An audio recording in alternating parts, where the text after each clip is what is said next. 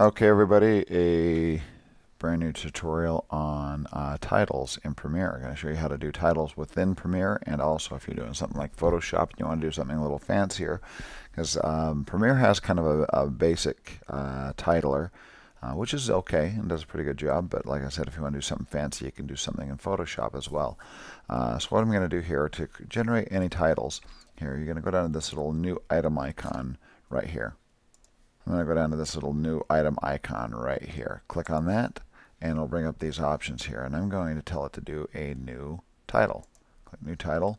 And it will bring open this screen here, or this little uh, uh, splash screen here asking uh, what you want to name your new title. By the way, it will base your title's uh, resolution and frame rate and pixel aspect ratio after the um, timeline that you're working in. So whatever timeline you're working in, it's going to uh, duplicate those uh, those settings, copy those settings to the title. So I'm just going to name it here, just call it open title, whatever you want to call it. I'm going to hit OK. I'll bring open this little window here, and there's your title window. Now, a lot of people think that when you create a title here, it's going to put it on your timeline for you. It doesn't. It saves it.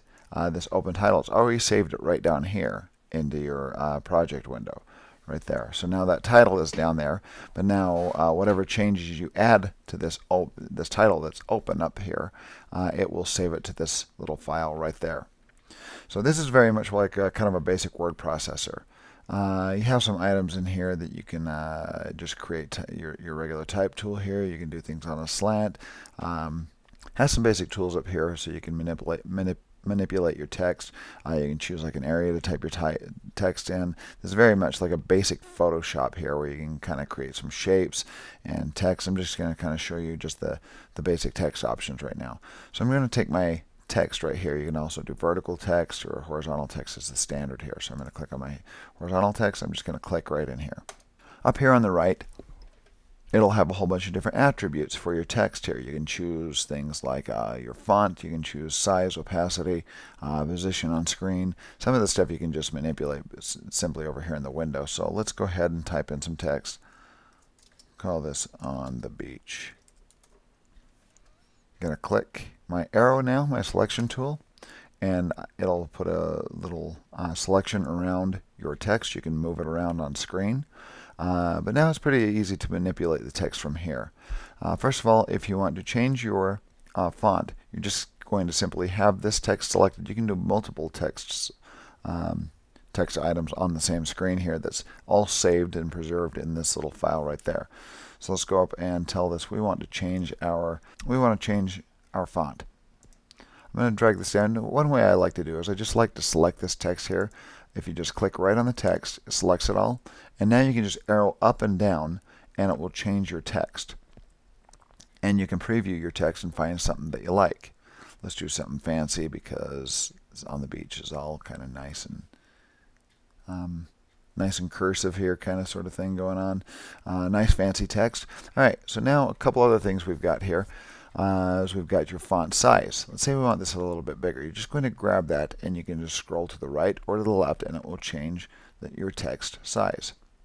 A couple quick things here that you need to know about is uh, what you've got here is you've got your two guides here. You've got what's called your uh, action safe and your title safe in here.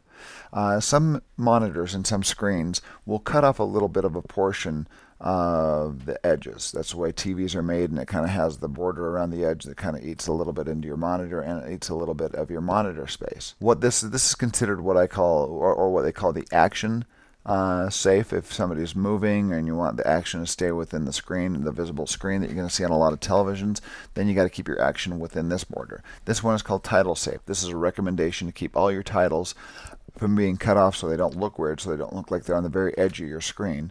Um, it's a recommendation to keep all your titles within that area. So once again, action safe and title safe. So, um, and most broadcast standards, if you send it to a television station, will expect that as well. Um, you also have different styles down here. You can do outlines, uh, these are a bunch of templates down here you can select to have different looks of text. It already has uh, pre-created colors and shadows and uh, and fill type and a whole bunch of different other things. A lot of these things, like I said, you just have to kind of go in and, and mess with these and experiment with them. I'm going to give kind of the basics here. You have things like sheen that makes kind of a shine on it. Uh, you have an outer stroke, uh, which you can mess with. It has a whole, it's, it's quite powerful, but I'm going to find kind of style down here. And also, if you want to customize these things, you can just do it yourself. Here's the original one that I had right here. Um, I'm going to go up and change my color. I'm going to grab, uh, I'm going to click on the color picker here, and we can choose whatever color we want to for the text. So click on that, or you can actually select a certain color type if you're trying to match something by clicking on that. So you're trying to match the kind of the golden hue here. You can find something kind of bright there. Click right there, and then you've got kind of the matched color.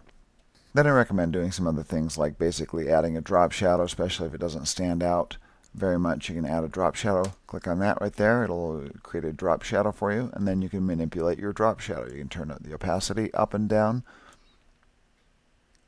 You can change the angle of the shadow. A whole bunch of different things you can do to the shadow right there. Or once again, if you find some um, style, title style that you kind of like, that you want to have a starting point from down here, you can go ahead and just click on these things and find something that you like, and then you can go through and change your font.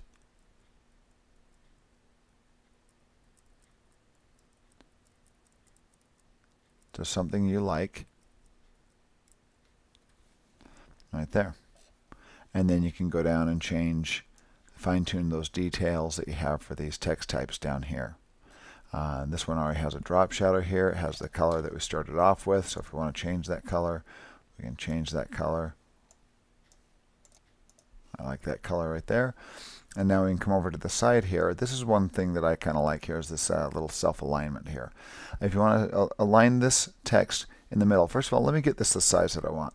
I'm going to grab this, and by the way, if you hold down Shift, it'll constrain the proportions on the side.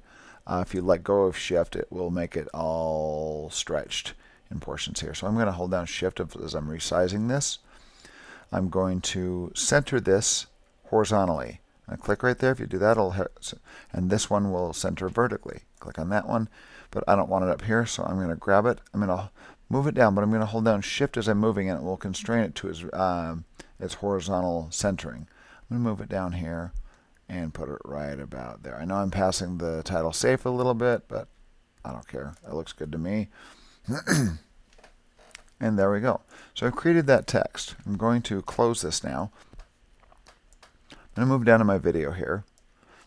And I'm going to go down and grab my open title right there. I'm going to grab that. I'm going to drag it up here. I'm going to put it on top of my video. This is going to composite on top of my video. This is basically see-through. So move over, you'll notice it composites my text right on top of the video. And this acts just like a video clip now. You can grab the edges, you can drag them like this and trim it so it lasts longer.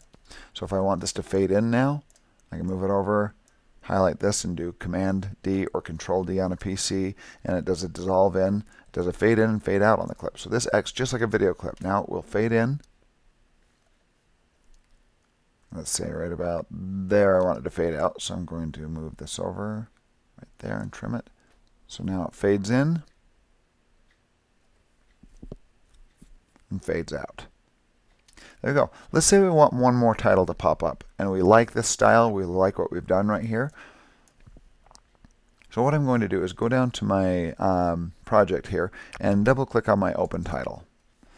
And I'm going to um, go up to this little tab right here. This is a handy little tab. This creates a new title based on all of the settings that you've already created. So basically just copies this one into a new title. So I'm going to click on this and it will say, what do you want to name your new title? I'm just going to name it uh, Beach 2. Hit OK, and you'll notice it has generated a new title. It's got everything exactly the same here, all the same settings, but let's say we want this to say something else. So this one is going to be left alone. My open title is left alone. So I've generated a new title. I'm going to rename this one here. Beach is happiness. I don't know why. Beach is happiness. Stupid title, but a different title based on the same settings. So I'm going to center this one. I'm going to make it a little bit smaller. I'm going to go up to my and go to my font size and change my font size.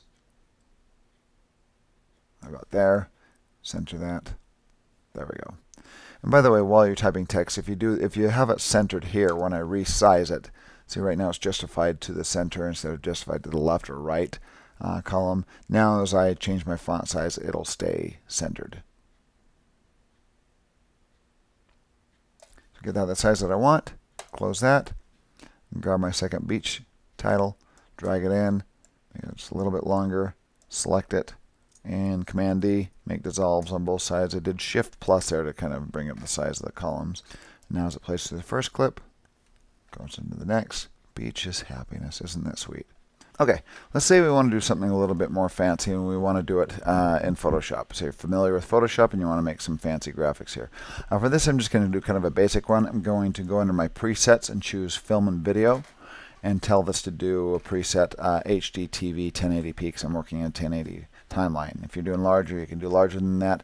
There's ways to do vector images and everything else, like an Illustrator, and uh, have, have it uh, be a vector image that doesn't change the resolution if you have to zoom up on it. But right now we're just doing basic uh, compositing with these basic 1080 uh, images. So I'm going to select this, hit OK. Uh,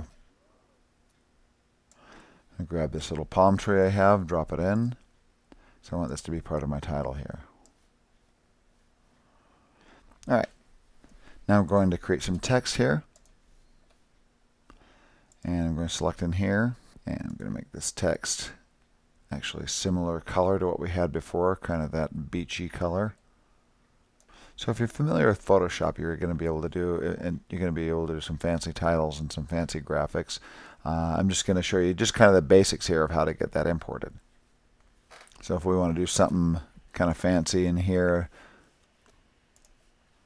with the text, we go to blending options and say we want to do like bevel and emboss or something and really kind of make this stand out and do do some other items that you can do in Photoshop to make your text look really cool. Within Photoshop, I'm going to basically leave the uh, drop shadow off because I'm going to kind of create that in Premiere see how it looks composited against the video. So I'm going to make uh, my background here an alpha channel so we have just the text and just the palm tree here. I'm going to save this as a Photoshop file I call this beach title. This is the nice thing about uh, Premiere doing titles in Premiere is that you can do things in Photoshop and they come in and work fairly seamlessly. Now I'm going to import my beach title here. My Photoshop file. And I'm going to do just kind of the basics here. I'm going to merge all the layers. You can do individual layers and animate individual layers, but we're not getting into that right now. I'm just showing how to bring in a basic title. I'm going to hit OK. There's my Photoshop file. And if you have an alpha channel created in the in Photoshop where it doesn't have like all solids, you can bring this in, drop it in just like a video clip, just like you can the titles and you scroll and you trim this out and there you go. You got the exact same title that you created in Photoshop that has an alpha channel. If you don't like the placement of this you can actually select it uh, come up here on a, on a hard portion of the object double click on it and you can grab this and move it down. Another way to do that a little basic way to do that is select go up to your effects controls select this little wireframe right there for the object and it creates a wireframe for the object and now you can just actually just grab it and move it down. I'm going to hold down and you can move this around. You can resize it if you want to. You probably don't want to make it much larger because the resolution will decrease. This is not a vector image that it's generating here. Uh, but also, let's say we want a, uh, a drop shadow here. You can actually just select the clip, go down to my Effects tab, and there's a drop shadow effect in here. You can just type, type in drop, and there it is, drop shadow. I'm going to add that to this file. And now you, you can already see a little bit of a drop shadow there, but if you want to increase the opacity on it, make it a little harder. Uh, distance, how far away it is. You can see that working on the tree right there, especially. You can see your drop shadow right there. Um, actually, oh, sorry, I didn't increase my distance. There's my distance right there. Send it a little further out, and I'm going to soften it. Let's make it a little more subtle. And there we go. So let's turn it on and off and see what it looks like. There's before, there's with the drop shadow right there. So there you go. So you can uh, bring Photoshop files in. You can do some titles inside of uh, Premiere if you wish. If you're familiar with Photoshop, that's good because you can make some pretty fancy titles, bring them in and work with them as if they're video clips. And same with the titles that you can actually generate in Premiere. So if you have any questions, go ahead and post them and I'll see if I can get back with you. So thank you.